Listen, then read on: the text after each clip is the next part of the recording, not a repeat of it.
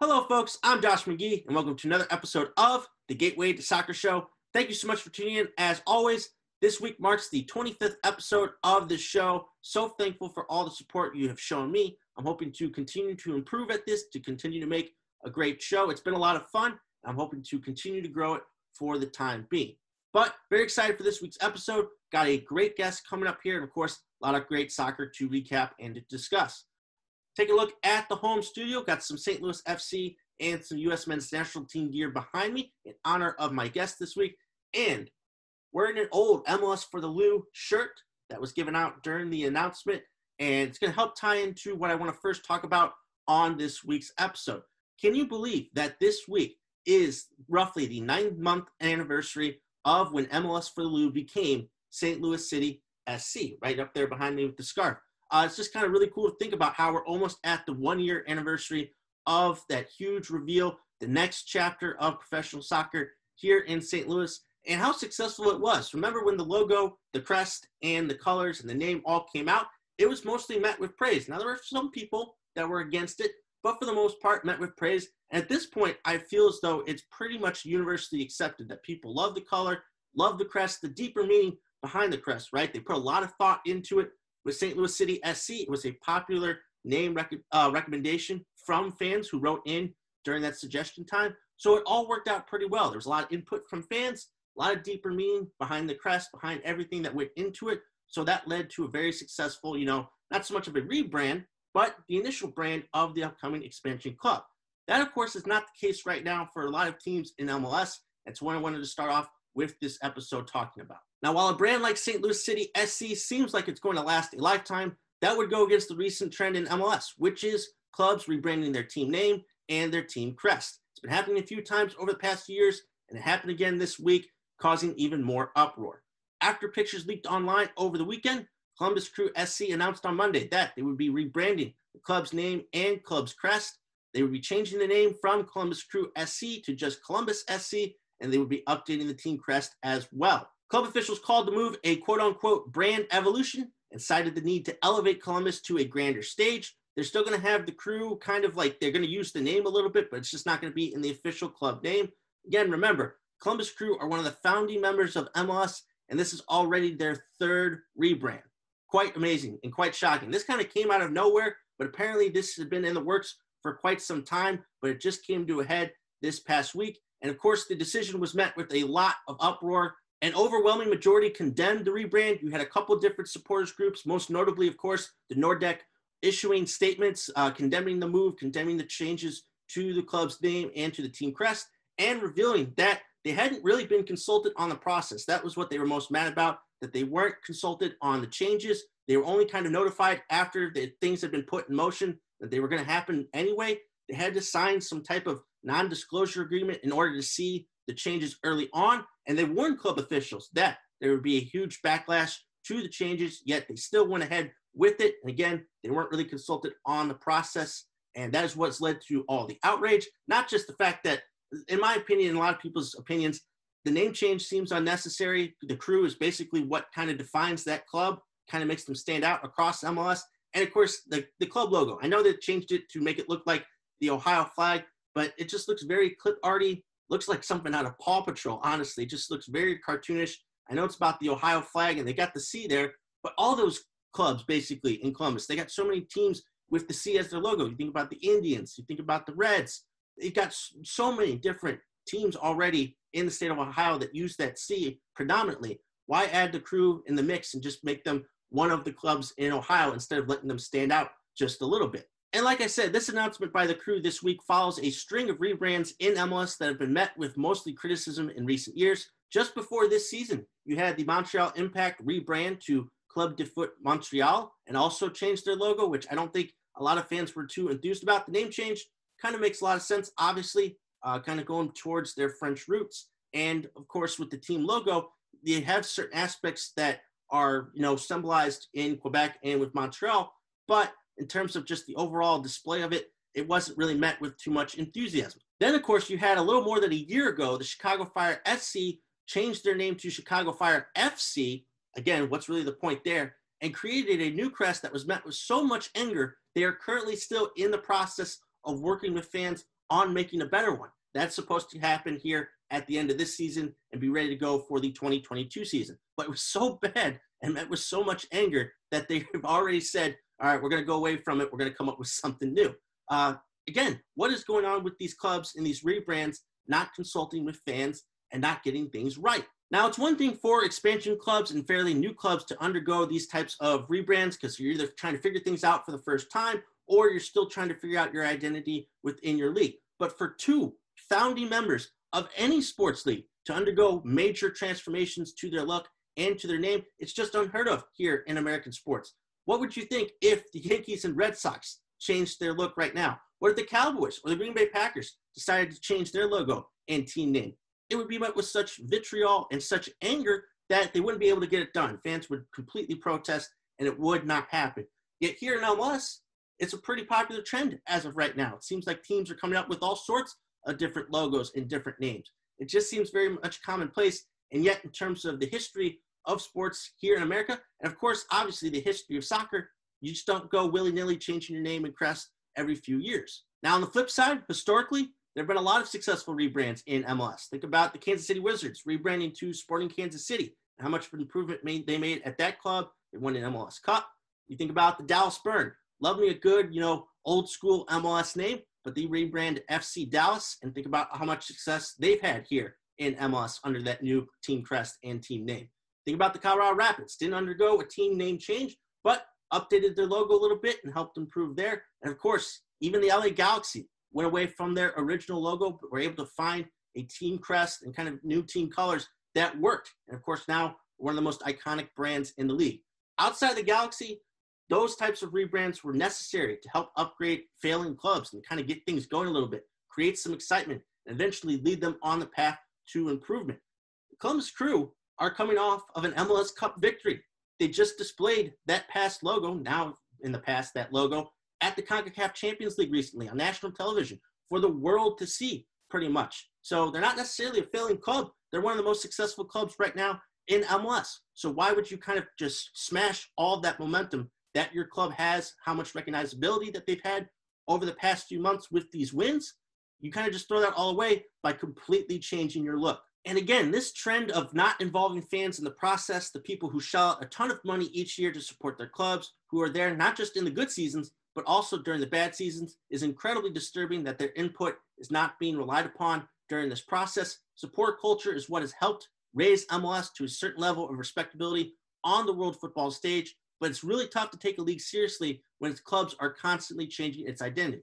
We already have to put up with, and now this is not just in MLS, this is with soccer as a whole, the jerseys, the kits changing every single year, and people showing out money each year to buy a new kit. That's an entirely different argument in itself. But to constantly having to deal with, you know, crest changes, with name changes all over these types of years, it just is more and more of a burden on the fans who are just trying to support their club, who are just trying to be there through thick and thin but they have to go deal with this type of stuff and they don't even have any input, right? They just have to take it. And it's, it really is just a tough thing to see right now here in MLS because it has been happening so much frequently here over the past couple of years. At the end of the day, ownership and supporters of these rebrands will say it's just a business decision. One of my least favorite phrases, not just in sports, but in the world. But okay, I'll play that game. Enraging your customers is not a good business model.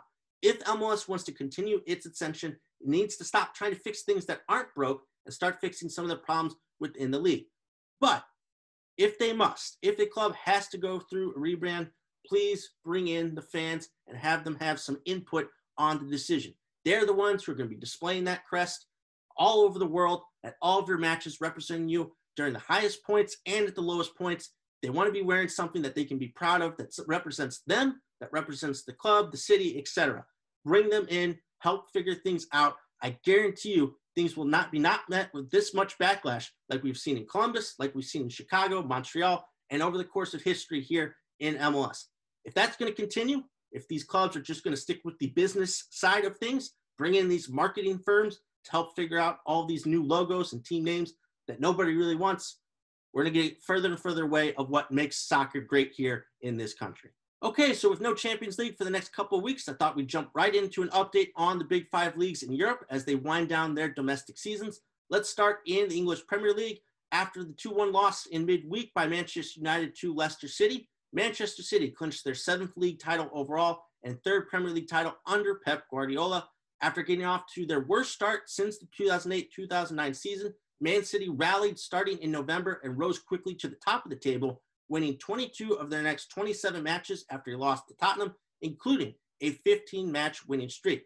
City, most dominant team in the EPL and quite possibly in all of Europe if they're able to win the Champions League in a couple of weeks. Marked by that defense, I definitely think that Ruben Dias is the player of the year in the Premier League. He's basically been City's version of Virgil van Dijk, has completely transformed that defense, basically replaced what Vincent Kompany gave to the club a few years ago. But of course, they got so many great offensive weapons. They didn't even really have Sergio Aguero this season. They still managed to put in a lot of goals. Kevin De Bruyne still doing his thing. The emergence of Phil Foden as a powerhouse has also been a huge get for City. They've wrapped up the title. We also know the three clubs who are going to be relegated. That would be Fulham, West Brom, and Sheffield United. So the only thing left to play for is those remaining Champions League spots and Europa League spots. You got the likes of Chelsea, Liverpool, Leicester City, maybe even West Ham United in the mix as well. We saw in midweek Chelsea drop a 1 0 decision to Arsenal, which could set them back. They got a lot of focus on this month with the FA Cup final tomorrow and with the Champions League final here in a couple of weeks. So they're going to be quite occupied. You got Liverpool trying to figure things out. Should be an entertaining race there in the English Premier League here to wrap up the season. Moving on to talk La Liga, and in another stunning twist in the title race there in Spain, both Real Madrid and Barcelona dropped points over the course of this past week, while Atletico Madrid were able to pick up the full three points in a 2 to 1 win versus Real Sociedad. Real Madrid needed a late equalizer from Eden Hazard deep into stoppage time to salvage a 2 2 draw versus Sevilla FC, who are still in the title race thanks to a midweek victory over Valencia, while Barcelona took a 2 0 lead into halftime, but somehow conceded three goals and had to settle for a 3 3 draw versus Levante following that nil nil draw versus Atletico Madrid last Saturday. Going into this weekend, Atletico hold a four point lead over Barcelona with two matches to play. Now, Real Madrid, they had a match on Thursday versus Granada, didn't finish in time to make this taping, so I'm going to scroll the score down below. At best, with the win, Real Madrid would be two points behind their rivals, Atletico, in first place. At the end of the day, it's in Atletico's hands, right? If they just win their last two matches, they will be La Liga champions. It would be quite the accomplishment for them to hold off both Real Madrid and Barcelona, who've been coming on strong the past few months. But lately, both these clubs have just had a hard time playing defense, a hard time holding on to leads, especially with Barcelona. It's just incredible to think that with the 2 0 lead, all that they have to play for, that they would completely, you know, change some personnel, change some tactics in the second half, and just let up a huge offensive onslaught to Levante, who were able to come back and get that draw. Doesn't make any sense. Ronald Koeman, I mean, he's got to be on very thin ice if he's not able to finish the job here and win La Liga. Uh, with Real Madrid, again, it was a tough match versus Sevilla, but they still needed to come up with that win. And if it wasn't for Hazard very late on, they would have lost that match and would have made things a lot more harder here at the end of the season. So again, as of this right now, Atletico, they don't have to play very tough opponents. I got to think that they're going to find a way to get things done with that defensive system, keep teams off the board, and find a win way to win La Liga here at the end of the season. So, but still, very close, very tight. Should be a very interesting final few weeks here in La Liga. Next up, let's talk about the German Bundesliga in a thrilling contest between two top clubs. Jadon Sancho's second goal of the match in the 87th minute proved to be the winner as Borussia Dortmund were able to beat second place RB Leipzig 3 to 2. The win elevated Dortmund into fourth place where they lead over Eintracht Frankfurt by one point. An important victory there by Dortmund. Sancho coming up huge with, I believe, Haaland was on the bench for this due to injury. So great performance by him, able to pick up the full three points against a top club in Germany. They're in a huge dogfight for that final Champions League spot with Eintracht Frankfurt with just a couple matches to play. But this was the biggest test for Dortmund. They were able to pass it. So we'll see if they're able to complete this season and take that Champions League spot, which would be huge in their efforts to keep Sancho and Haaland for next season. With Leipzig's loss to Dortmund this past weekend, it meant that Bayern Munich officially clinched their ninth straight Bundesliga title, and they proceeded to celebrate in style with a 6-0 beatdown of Borussia Mönchengladbach. Robert Lewandowski scored a hat trick in that match, which took him to 39 goals on the season, which means he's just one goal behind Gerd Muller's single season goal scoring record of 40. So would be an incredible accomplishment for Lewandowski to break that goal scoring record. He's got two matches left to do it, but Bayern Munich wrap up yet another Bundesliga title. They've got quite the stranglehold of that country right now, what they've been able to do, even with the drama kind of going on behind the scenes with Hansi Flick set to leave at the end of the season. The fact that they didn't win the Champions League here this season. So there's some disappointment, but still able to dominate Germany once again. So much talent. We'll have to see here if Lewandowski can break the record. Moving on to Serie A, after getting a penalty just before the halftime whistle, AC Milan got goals from Ante Rebic and Fikayo Tomori late on to beat Juventus 3 0 in Turin. Both clubs picked up a victory in midweek, as did Napoli, who currently sit one point ahead of Juventus in fourth place. So it's incredible to think that this late on in the season, there's real doubt as to possibly Juventus and Cristiano Ronaldo playing in the Champions League next year. They got to go up against the recently crowned champions Inter Milan this weekend, a very tall task. While the other clubs, you know, Napoli, AC Milan, Atalanta, have other matches against weaker opponents. So it's going to be a tough task for Ronaldo and co to make it to the Champions League next season. You got to think that Andrea Pirlo could be out the door, as could Cristiano Ronaldo. I mean, why would you want to play for a non-Champions League club if you're Ronaldo at this point in your career? So, lot to play for here over these next couple weeks. So that's a big game to watch out for this weekend. Juventus versus Inter Milan. See if Juve can somehow call their way back into the Champions League picture in Serie A. And lastly, in League One in France, we are on the verge of crowning new champions as PSG suffered a major setback to their title defense, dropping points in a 1 1 draw versus Stade Rennais this past weekend. The draw leaves them three points behind the current leaders, Lille, with two matches to play, as Lille successfully beat Lens 3 0 this past Friday. So, very close to crowning new champions in France. PSG have been winning that title these past few years, but Lille have had a very impressive season. They've gone head to head quite well with PSG this year. And yeah, too many slip ups recently. Obviously, PSG getting knocked out of the Champions League kind of puts a damper on some things. They've had a few injuries, but still, they definitely had the talent and they should have been able to pull away here with another league title. But I would have to assume Lille should be able to take care of business here with just two matches left to play and be crowned new league champions in France. So I want to move on and talk a little bit about MLS. They're coming off of a great week in the league. This past weekend, we had three nationally televised matches, two on ABC and one in primetime on Fox, as well as some other great matchups. So I wanted to give my top five results from MLS this past weekend. There were a lot of fixtures midweek this week, but I wanted to focus on those matches from this last weekend. But I'll throw in a few results from midweek to add some context. So starting off at number five, after three consecutive draws to start the season, Nashville SC picked up their first victory of the year with a 2 0 win versus the New England Revolution. Nashville are one of three clubs currently in MLS who have not lost so far this season. So, Nashville, they were having a little bit of trouble getting over the hump. They were either unable to score or they were unable to hold a lead late on in their matches, but they put it all together here and come up with the victory. Another clean sheet for St. Louis native and goalkeeper Joe Willis. Of course, that defense has been pretty good so far this season, led by the reigning defensive player of the year, Walker Zimmerman. But Nashville finally able to put it together here and pick up a win against a quality opponent in New England. So we'll have to see going forward if Nashville can kind of string some things together.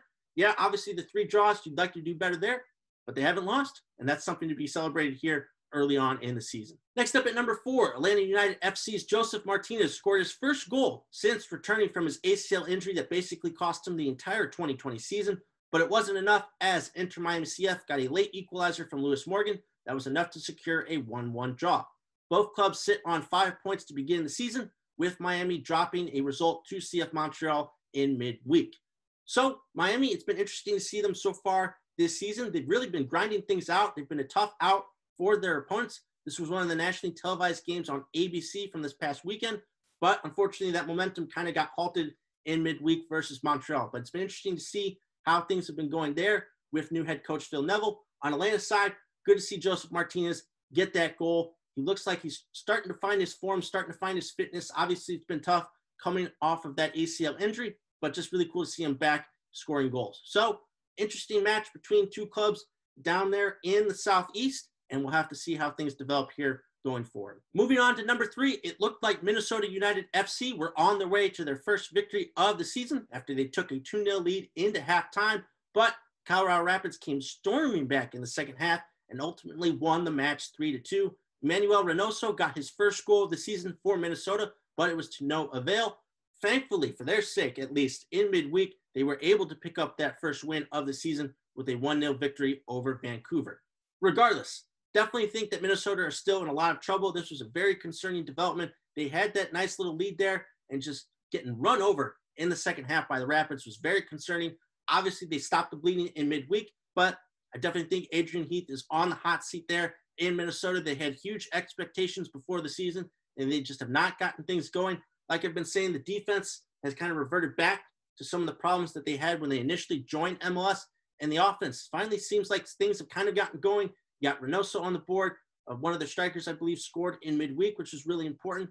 But still, a lot of problems there in Minnesota, a lot of warning signs. And if things kind of continue like they did versus Colorado, definitely could see Heath getting sacked and things changing up there in Minnesota. Up next at number two is that nationally televised primetime match on Fox this past Saturday. Javier Chicharito Hernandez scored a goal and assisted on the winner as the LA Galaxy were able to beat their El Trafico rivals LAFC by a score of two to one.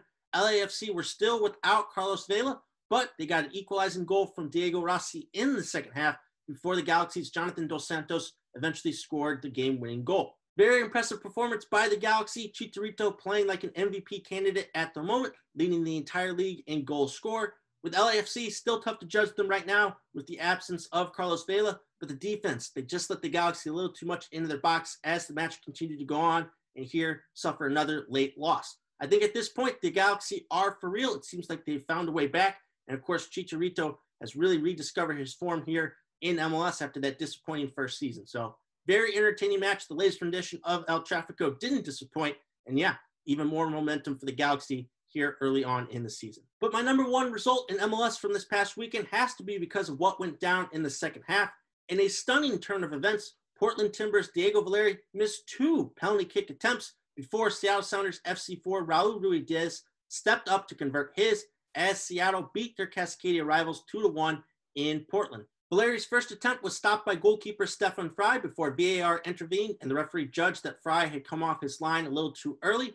Valeri's second attempt clanged off the post. He was able to put the rebound in, but it didn't count because no other player touched the ball first. Valeri is one of the most reliable penalty kick takers in all of MLS, so this was extremely shocking to see. And of course, Seattle were able to utilize that momentum and shove it right back in Portland's face and end up winning this match. Fredy Montero got on the scoreboard late to make it 2 0 before a beautiful free kick there by Portland at the end was able to salvage that goal, but not the three points. Again, just a stunning turn of events that Valeri missed these two attempts. And again, even on the replay with VAR, it kind of showed that Frei didn't really leave his line. He was kind of hovering above it. So I'm not sure about the call, but still, things broke Seattle's way, and they continue their impressive start to the season. This was the other big match shown on Mother's Day, Sunday afternoon on ABC. The Seattle were able to come up once again with a huge win over their rivals. So it was a very impressive weekend in MLS. A lot of big matches, a lot of big results. And yeah, it just kind of adds to the excitement and to the depth of the league. And we'll see if we can continue this momentum forward into the coming weeks. Before I jump into some women's soccer, just kind of looking at this weekend slate for MLS, a lot of interesting matchups coming up here. Give me something like Philadelphia Union versus New York Red Bulls. You also got on Sunday Columbus Crew, in my opinion, still the Crew SC versus New England Revolution. You got LA Galaxy versus Austin FC on Saturday. And also, of course, the big matchup once again Sunday night. You got the Seattle Sounders FC versus LAFC. So again, another great weekend slate here for MLS. Now let's jump into some women's soccer, and of course, we got to start off with that incredible NWSL Challenge Cup final Portland Thorns FC outlasted New Jersey, New York, Gotham FC in a penalty kick shootout to win the second edition of the NWSL Challenge Cup. Portland got on the board early through a beautiful curling strike from Christine Sinclair and almost added a second in the first half when Lindsey Horan stepped up to take a free kick, but her attempt claimed off of the crossbar. Portland dominated that first half really dominated the match overall. I believe they outshot Gotham 26 to 8, but Gotham were able to get the equalizer in the second half through Carli Lloyd. Really great header in the box by her. And of course, they able to hold on for extra time. Nothing happened there. So the match ended 1 1. We go to a penalty kick shootout. Both clubs had a player hit the crossbar in the shootout, which is very rare. So things were even up basically to that final kick. Adrianna Franch, the goalkeeper for Portland, was able to come up with the save. And then Morgan Weaver stepped up to bury her penalty kick and obviously win the shootout for Portland. This was a very entertaining match. Like I said, I really thought Portland were going to run away with things, especially in that first half.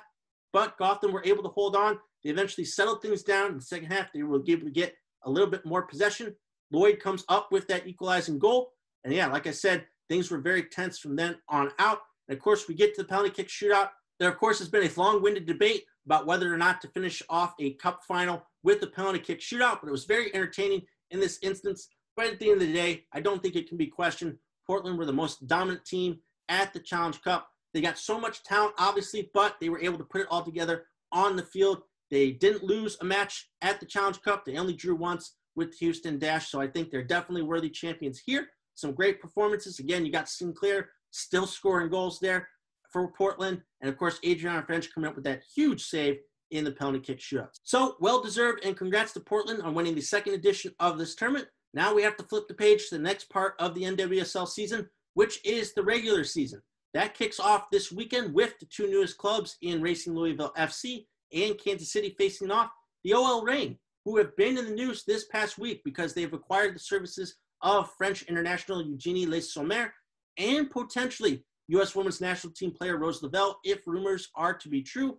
This summer, in just a couple weeks' time, once their seasons wrap up, they will be taking on the North Carolina Courage this weekend and Challenge Cup MVP Debinha, which I thought was much deserved for what she was able to do for North Carolina.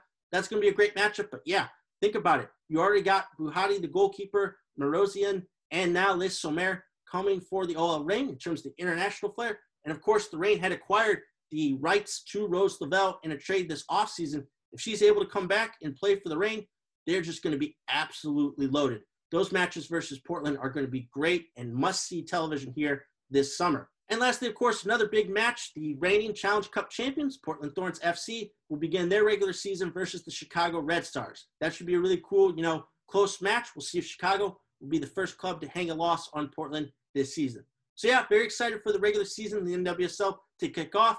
A lot of storylines. Of course, Portland. Can they repeat the success they had in the Challenge Cup and win it all?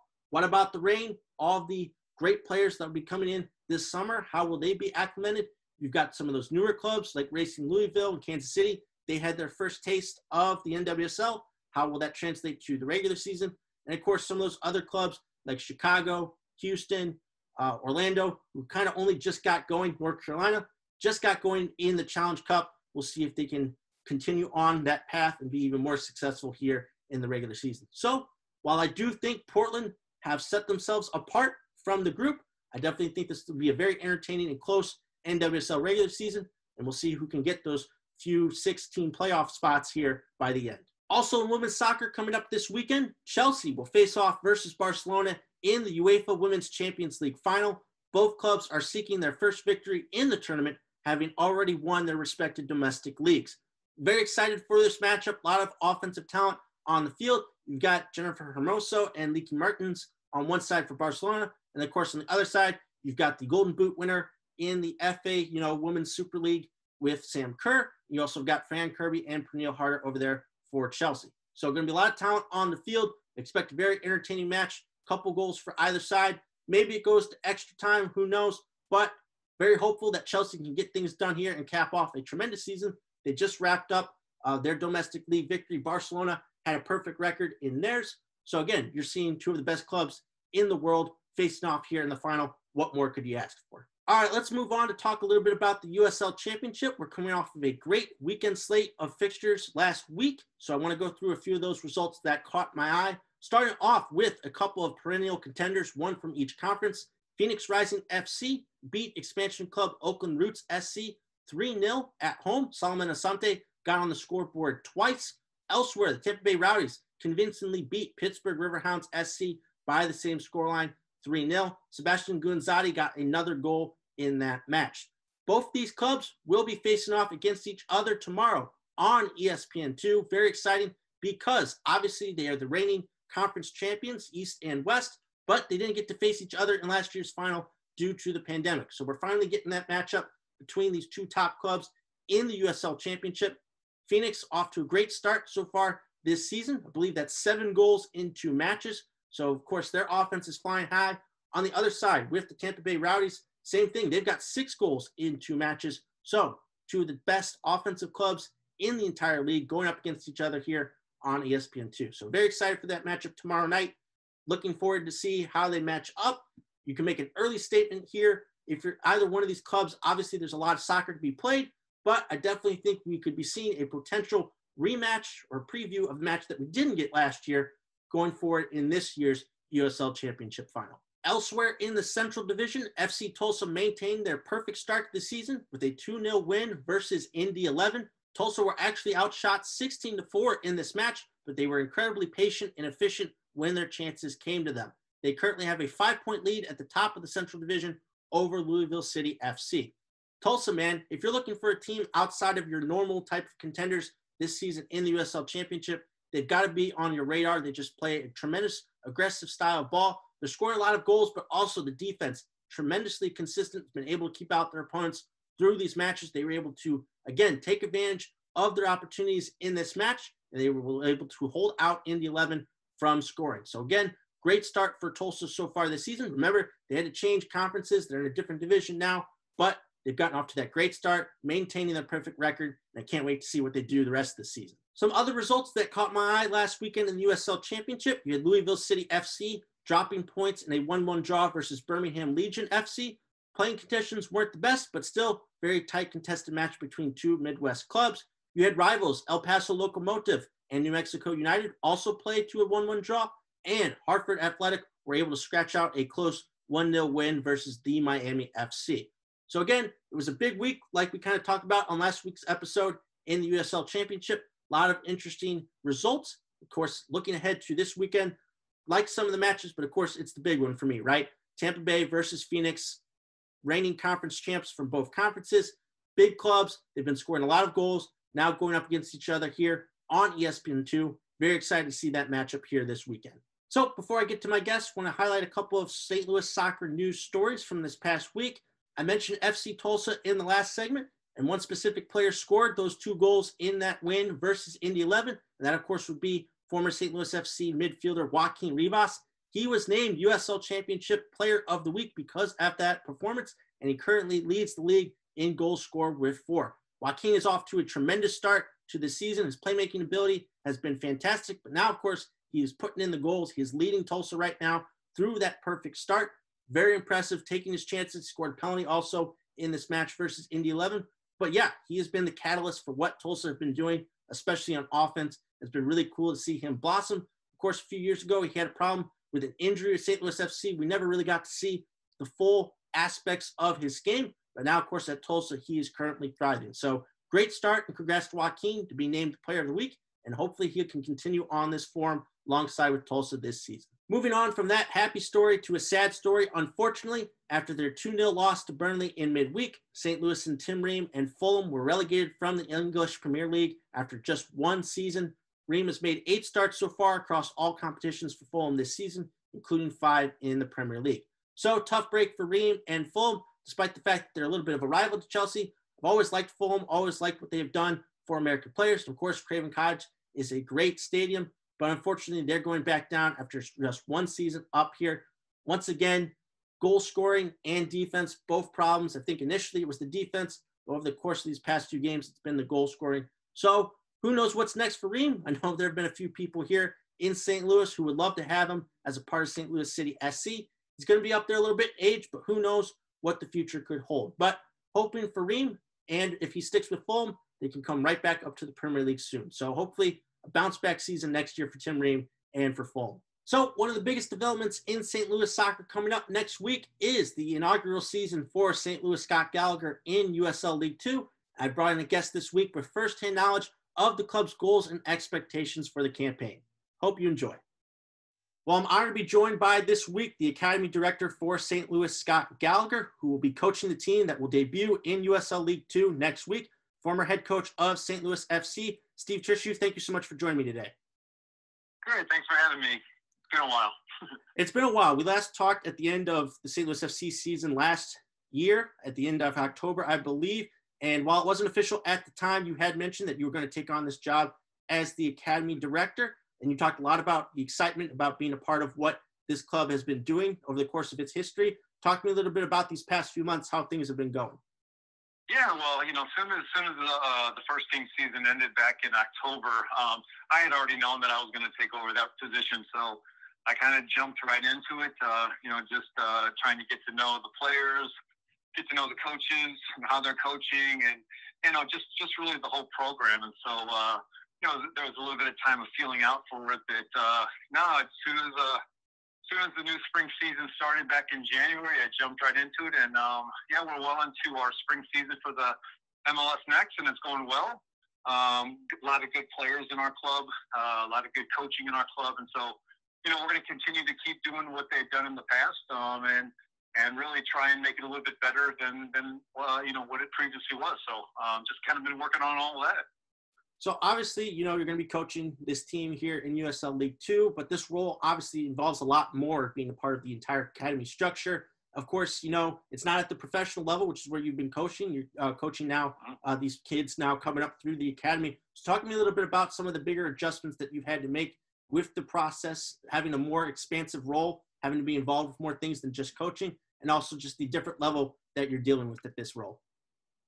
Yeah, well, you know, the, obviously the academy level that I'm, that's my main role is, you know, there's there's not a whole lot of coaching going on. It's really just just helping out and identifying players and giving you know just some some things here and there that I that I need. But uh, you know when when the when the USL two team came around, Brad Davis approached me and said, "Hey, would you be willing to do this?"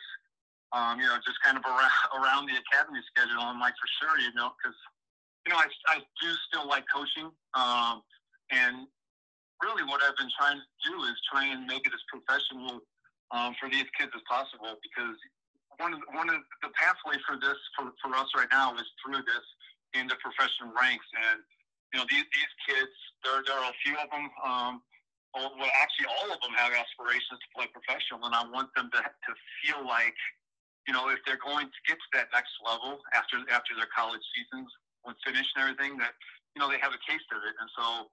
What I'm going to try and do these next couple months here with these guys is, like I said, is, is treat them like professionals and you know, make the trainings professional as I can.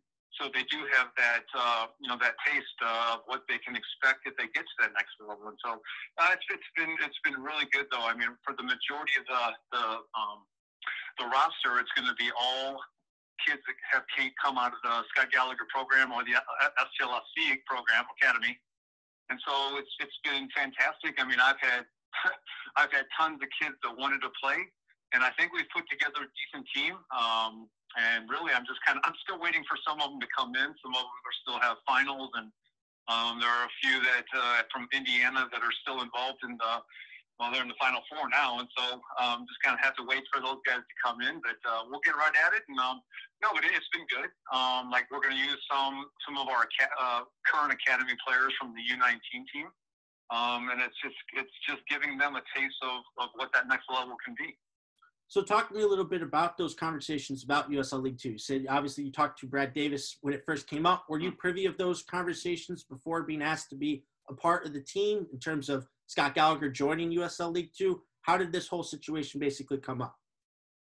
Yeah, well, they, you know, I think uh, the the USL kind of approached uh, approached us because obviously with the first team going from last season, um, you know, and we were actually still looking. We're looking for pathways for our players, and and this is a this is a perfect pathway for these players if, they want to play at the next level. But yeah, we knew it was coming around, and then you know when everything was finalized, yeah, I wanted I wanted to be a part of it, uh, and so you know these last uh, probably since since since since the the, the team was announced, I've been getting emails and going through players from the, from the from the club and seeing who who wants to play and who has the ability to maybe get it to that that next level. And so, um, you know, put, putting that together and you know, right now it's it's we we, we just started training this last Monday. Um, it's gone well, and like I said, but there's still there's still probably like ten guys that aren't here yet. Um, hopefully, hopefully they'll be here soon uh, for these next few games coming up. So again, talk to me a little bit more about the roster here. You've mentioned a few different aspects of it. There are some different rules with mm-hmm. this league that allow for certain age groups. You can have a certain amount of players above 23. You have to have a certain amount of players under the age of 18. And like you've talked about, you can pull from a lot of different areas for this roster. I just want to ask a little bit when it's all said and done, you've got everybody uh, figured out. What are your goals for it? You've talked a little bit about the path to pro, but in terms of figuring out the right pieces and putting it all together, what is your idea behind it? Yeah, well, um, yeah, I, I wish I could name names right now, but we still have to go through the registration process with the league until we can announce them. but I can give you the schools, and so obviously, you know, in, in this area, we have St. Louis U, SIU, um, you know, some of the some of the Division two schools that have that we're going to get players from, and and really with with the with the STLS STLFC players that played in the past, um, or Scott Gallagher players that have p- played in the past, um, they're kind of spread out all over the country, and so you know, I've got a kid. There's a player coming from Notre Dame. We've got uh, two players coming from South Carolina, one coming from Denver University, and so it's kind of like like a mission. Well, they're all over the place, I guess. But um, uh, we identified these players. I, you know, I I, I picked uh, Dale Schilly's mind because he knows all these players in this club, and then the, the past academy coaches that have that have coached these guys, and the past uh, Scott Gallagher elite coaches that have coached these guys to to try and find the right players and um, trying to fit into the way I want to play. Um, but also, you know, like I said, the majority of these players are going to come from the club, and we wanted to reward these players for, for the years that they've put in, um, and but also but also finding the the, the good the, the top players that have come out of here, and I think we've we've put that uh, a roster together with that, and um, like I said, it, it's gonna be it's gonna be it's gonna be a quick uh, season. There's only 12 games, and a lot of games are, you know, only two days apart. And so, you know, I put together probably a roster of, uh, well, right now between 22 and 26 players. And we're going to have to use them all. Um, like I said, some, some guys won't be here probably for these next first, first two, three games here. Um, but, uh, but I, you know, like I said, the, the, players that we're bringing in, I think we're going to have an exciting uh, team. We've played a, a couple uh, um, training matches this week, and the guys have done really well. And so um, I'm looking forward to it. It's just it's just a matter of uh, once we get everybody in here, then then um, then hopefully we'll have a really exciting team. Yeah. Well, as big of a soccer fans as there are in St. Louis, I'm sure they just need the schools, and I'm sure people can connect the dots as to who might be a part of this team. But that's really cool to see. I'm sure. I'm sure they can. Yeah. I mean, and that, there are a couple players that that didn't play in the club that um, that some coaches around the country have reached out to me. Um, I will. You know, one of one of the players actually played with the the, the Lions last last year, and um, you know the, the coaching staff there kind of pushed pushed him onto me, and so um, no, like, like I said, it's it's a good quality team. Most of most of the kids are not. You know, they're you know freshman, sophomore, under 23. There might be a couple kids that maybe 24, maybe maybe that's about it. But um, we're like I said, we're we're looking for the players from our club that uh, that uh, want that wants and can get to that next level. And I, like I said, I feel a bunch of these guys can. Um, they've had successful college seasons, um, and so you know, like I said, putting putting this together is it's been kind of easy, but it's just trying to find a, a balance on the on the um, on the roster because you know most of them were, were a lot of defenders when I was first putting this together, and um, I was trying to go out and find attacking players from the club and everything. So, but it, it's worked out. And like I said, um, it's it's been fun kind of putting this together, and uh, it should be a quality team. So, some people you can talk about by name and talk a little bit more in depth about is the rest of your coaching staff. Uh, I've had the pleasure of getting to know Luis Swisher here over the past few months of this year and all that he's been doing with the academy already. The rest of the coaches you have some previous experience working with before. What do they bring to the table? Where do they help you out the most here uh, with your work? Well, yeah, for sure, Luis. I mean, he's been coaching the, the U19 these last few years, and and and has done a great job. And you know, he he knows a lot of these players. So, like, I had to pick his brain a little bit to to see, uh, you know, because when I would get names and I I didn't know all these kids, and so uh, I had to pick his brain on that, and you know, him trying to help me put the roster together. But then, um, you know, we're, we're utilizing a lot of the uh, academy guys, the academy coaches that uh, that are that are coaching academy. And, You know, Timmy Leonard I wanted him for sure on there because he had, he was assistant for the USL championship team for you know what two three years I believe, and so I wanted his experience from the sideline in, in, in that level. Um, Tim Kelly, you know, obviously he's our goalkeeper coach director, and uh, he'll be he'll be there. Um, Ian Ian Henry, he, he's coaching our U17 academy team right now, and he's been involved in the college game, and so he he's been a great great resource for me, and so. Um, you know, we're still going to have those. There'll be a lot of a lot of a lot of coaches out there. Like Brad Davis is going to come out and help. Dale Schilly is going to come out and help at times. And so, because I, I still have another job to do, so there, there's times that uh you know I'm going to be busy with that. That you know it's it's like a whole club thing here. Um and you know we're even trying to include uh, some of the elite coaches that have coached some of these guys too. So you know like I said, it's it's a club thing right now, and it's a great thing for the club. And um you know, it, these, all these kids, they just didn't play in the academy. A lot of them had, you know, a lot of them wanted to play high school, so they played on the elite teams. But they're still quality players, and so, you know, like I said, it, it, it's been fun trying to put this thing together, and um, we're just looking forward to that first game on Tuesday. Yep, like you said, first match of the season's coming up on Tuesday. You guys actually play a few matches next week. First couple are against Des Moines. Also in your division, you got a first-year team in FC Wichita. There are clubs from Green Bay, Chicago, Peoria as well. I know it's not the same as scouting, you know, you know, USL Championship clubs and the resources you have for that. But in terms of expectations of your competition this season, what are you guys expecting in your first year in USL League Two? Yeah, that's a good question. I've been trying to find some some information on all these all the teams in there, um, especially Des Moines. They they actually play this weekend at, at home up in Iowa, so I'm trying to find someone to at least give me an idea of how they play. But a lot of this, a lot of this, uh, this league is really going to be about what we're going to do, and you know, I'd like to I'd like to have these guys prepared as well as when I when I had the championship, and then you know I can watch video on all these players, all the teams. But right now, there's really nothing out there, and so um, we just got to be prepared for anything, um, and that's what you know.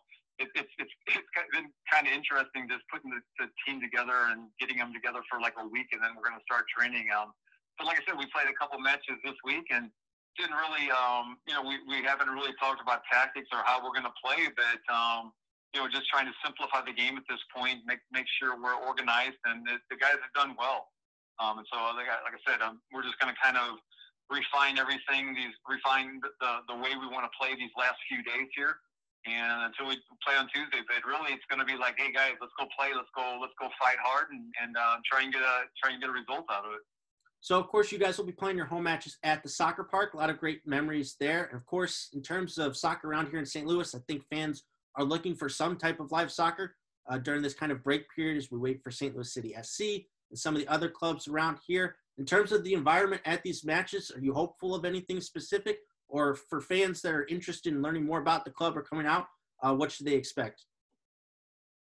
Yeah, I believe they're not charging, and so um, I, I did see. I think uh, some something that the Louligans are going to come out and sit in the corner, um, but no, it's going to be open. Um, and I, you know, people, hopefully people will come out and watch and enjoy it. You know, I mean, things are things are starting to loosen up now. Um, you know, we, there, we've had a lot of lot of games out at the soccer park with the youth, and it seems like everything's going well out there. You know, people are people are being good.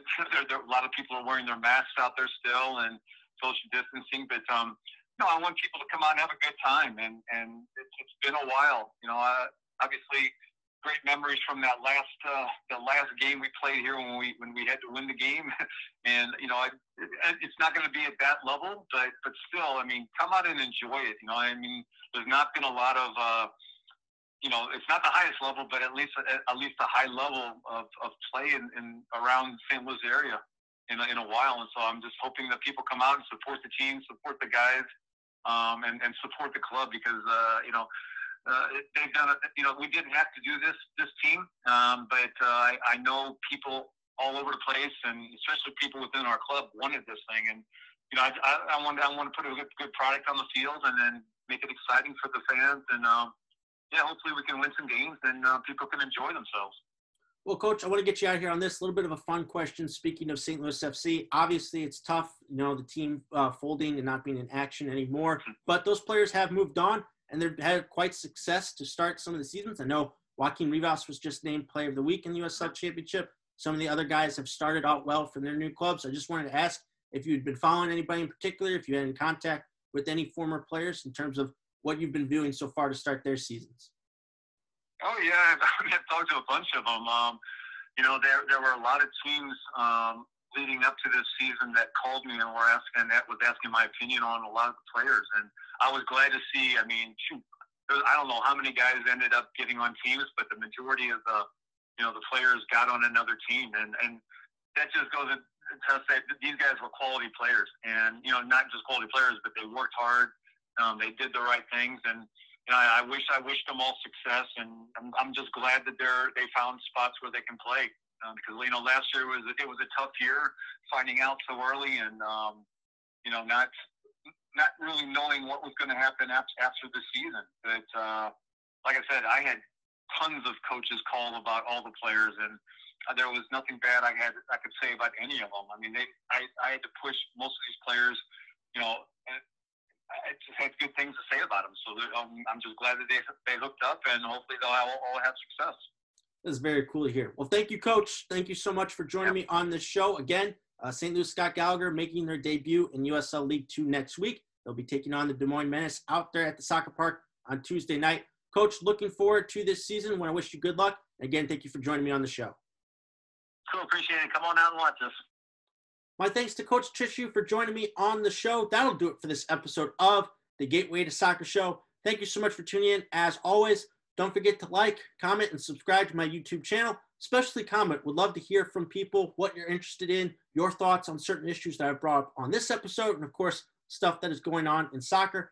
Very excited to get out to the soccer park next week for St. Louis Scott Gallagher's debut in USL League Two. Hope to bring you all some reaction, some analysis from those first few matches. But again, very excited. Another great weekend slate of soccer. And of course, I'll be right back here next week with a brand new episode. So enjoy all the soccer. Can't wait to be speaking with you all next week.